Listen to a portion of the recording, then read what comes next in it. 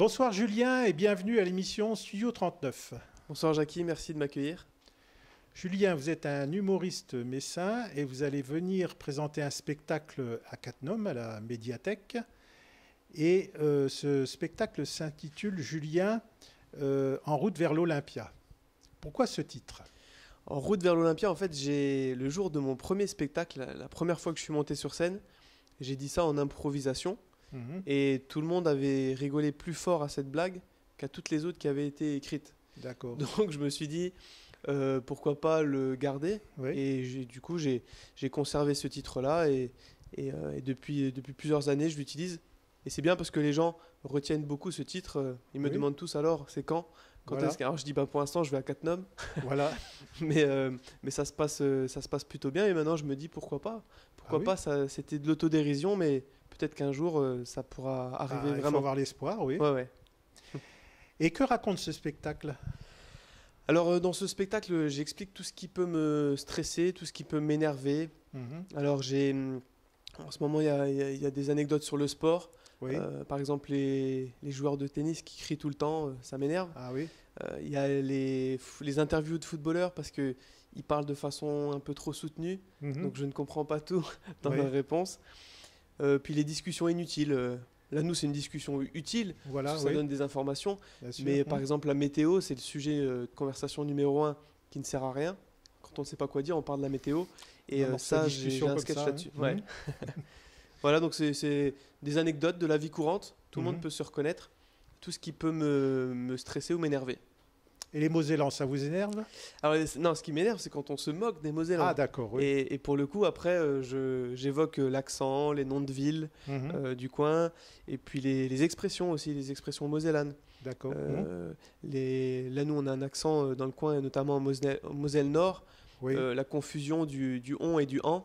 C'est-à-dire Oui. que dans toutes les phrases et dans tous les mots, un, un vrai Mosellan, il dit pas, par exemple, il dit pas la confiance, il dit la confiance. oui. Et donc ça, moi, j'ai un sketch là-dessus. D'accord, oui. Et je peux même le jouer, je l'ai déjà joué ailleurs, par exemple à Paris, et ça les fait rire aussi, puisque puisqu'ils ont cette vision euh, de Metz, euh, Metz est en Allemagne, hein, Oui, c'est ça, hein, c'est du l'Allemagne, oui. Du coup, ils entendent l'accent et ça les fait rire aussi. Donc j'ai réussi à exporter et j'en suis plutôt euh, fier, parce que les gens me disaient, attention, ne parle pas de la Moselle ailleurs, sinon ça pourra pas marcher, et en fait si. Si, ça marche. Si, oui. si. Mhm. Et quel est le public concerné? Les âges de 3 à C'est tout public. 7 à C'est tout 60? Oui. public. Mhm. Par contre, si, si effectivement il y a un bébé euh, qui Ah est oui. surexcité et qui pleure tout le temps, Mhm. eh ben amenez-le. Ça va t'énerver ça va mettre de l'ambiance.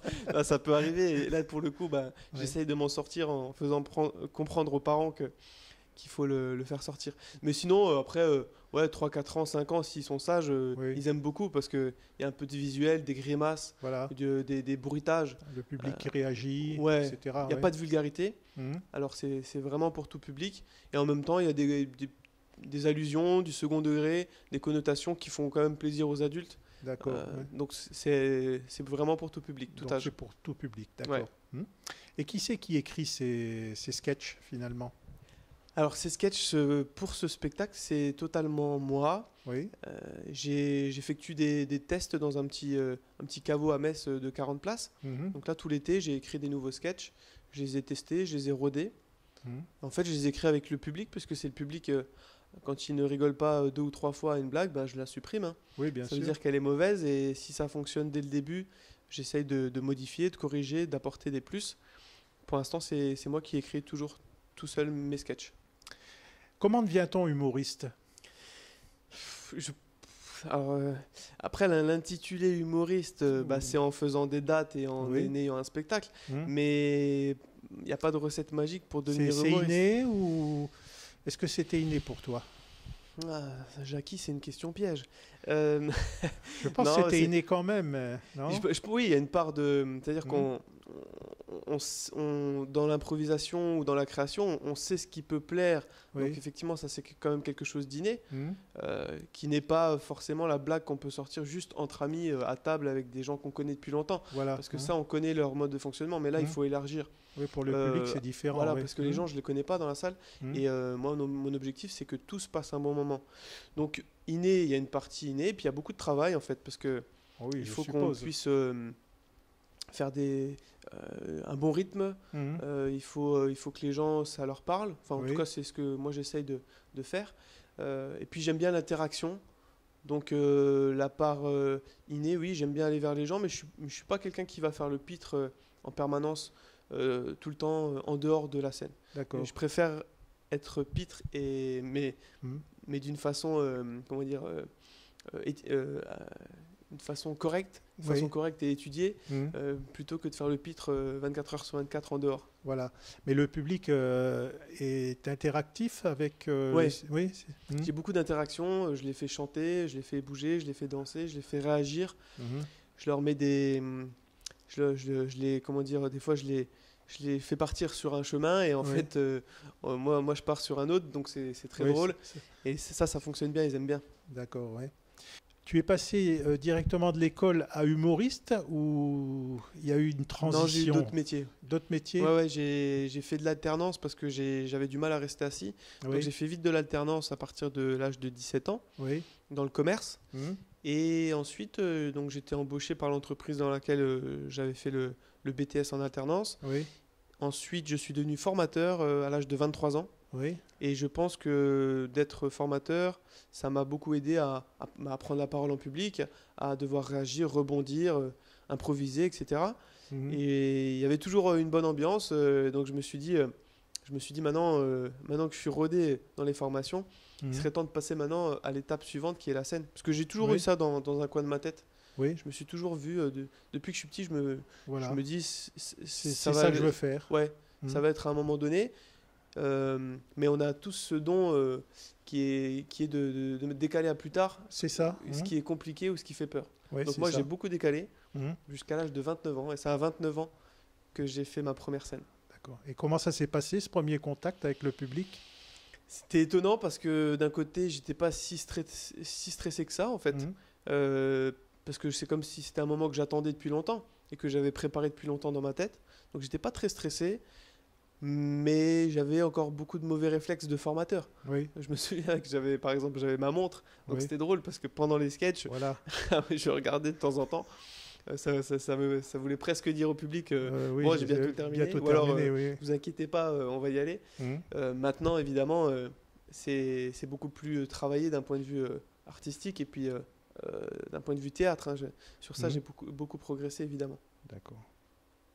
Mais comment fais-tu pour évoluer dans le métier? J'ai pas mal d'amis et collègues euh, humoristes Oui. donc, euh, qui me donnent leur point de vue et euh, j'aime beaucoup les critiques. Mhm. Même si ça fait mal, euh, en général, si elle est là, c'est qu'il y a quelque chose il y a qui un va pas. intérêt, oui. Ouais. Mhm. Et le public me donne des, des informations, puisque je filme beaucoup, donc je sais aussi quelles sont les réactions. Oui. Et j'ai quelques professionnels qui, avec qui je bosse et euh, qui me donnent leur- leurs opinions et leurs avis. Mhm. Donc tout- toutes ces discussions, toutes ces, tous ces, ces, euh, ces visionnages de, de vidéos, ça me permet de, ça me permet de, de m'améliorer beaucoup.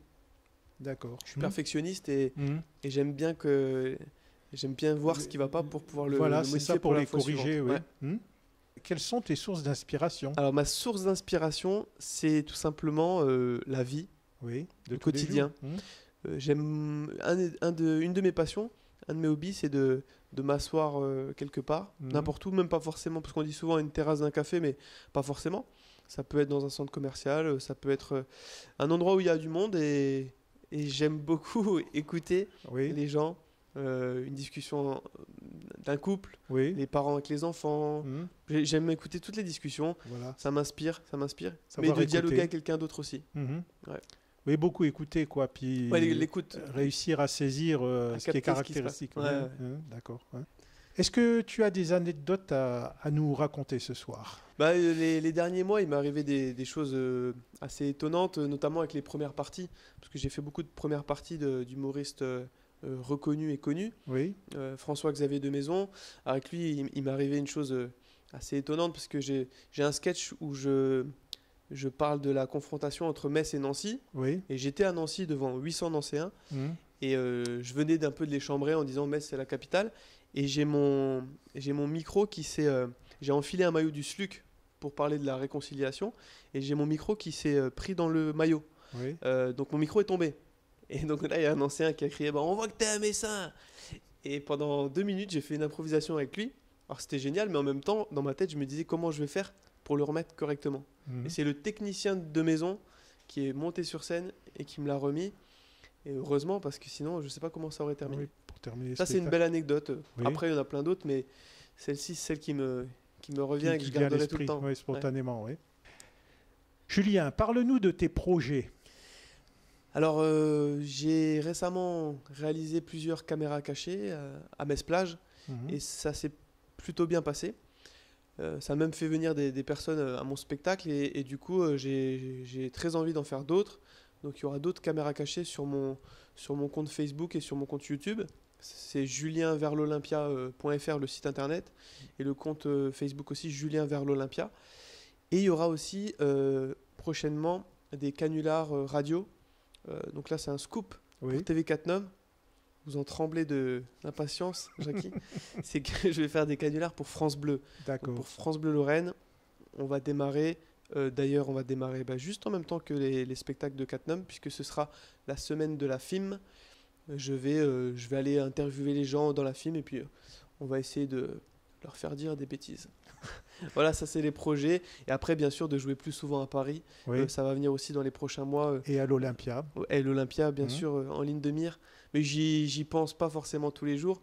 Mon objectif, c'est de progresser encore et encore, et puis Voilà. ça viendra forcément. Mhm. Voilà, Julien, face caméra, dites-nous pourquoi il faut venir à votre spectacle qui aura lieu le 26 septembre et le 3 octobre, donc à la médiathèque de Cattenom. Je vous donne rendez-vous le 26 septembre et le 3 octobre au Centre culturel Victor Hugo de Cattenom pour passer un bon moment ensemble. On va partager ensemble des rires, des fous rires. Euh, Il y a beaucoup d'interactions dans mon spectacle et vous verrez, euh, aura, vous allez passer une heure et demie de détente. Donc venez à Cattenom avec nous, euh, on va faire exploser la salle. Pas Cattenom. Merci Julien pour euh, votre euh, Merci à vous. présence à Studio 39. Merci beaucoup pour Et à bientôt, donc euh, 26, je rappelle les dates, 26 septembre et 3 octobre, donc à l'espace Victor Hugo de Cattenom. Merci à vous.